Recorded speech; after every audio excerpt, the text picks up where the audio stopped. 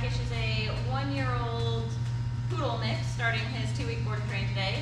No major behavioral issues with Blackish. Owner's biggest complaints are, first off, he has no sense of recall and he's a runner.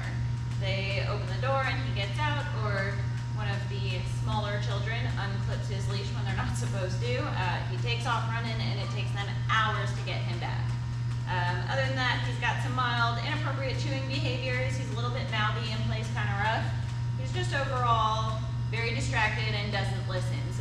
Blackish knows today.